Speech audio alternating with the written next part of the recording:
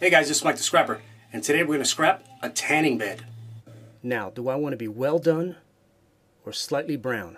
Hmm, slightly brown.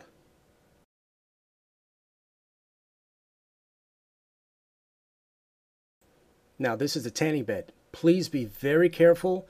Light bulbs are in here, are dangerous, and they have to be recycled.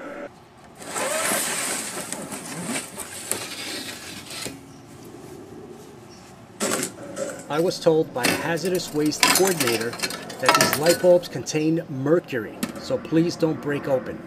In here you'll see the tips are made of brass and the rest is aluminum.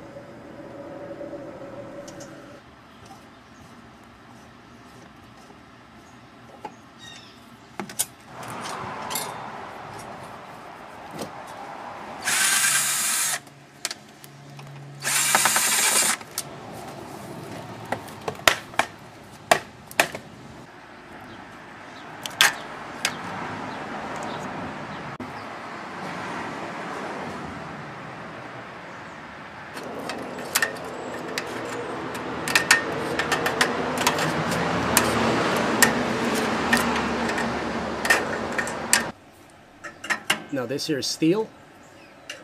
Another piece of steel. Now this is aluminum.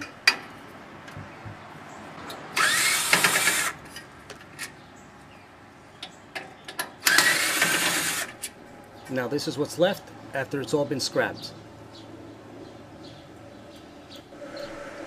This is steel. Some more steel. Some wiring, a lot of ballast. Four pieces of aluminum. Some plastic that's going to be recycled.